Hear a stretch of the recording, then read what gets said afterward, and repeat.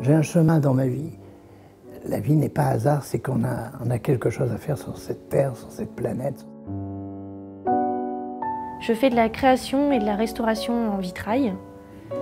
Et je crée également des, des bijoux en perles de verre filées au chalumeau. Le verre devient lumière. Il est lumière, c'est ce que je travaille. Je travaille la lumière. Donc c'est ça qui est passionnant en fait. Ça s'appelle réfléchir, euh, le travail de la lumière qui réfléchit sur l'architecture et le travail aussi du, de faire regarder à nouveau ces, bâtiments parce qu'ils ont une histoire en fait sur nos côtes, ils ont quelque chose à, dire au, à notre présent.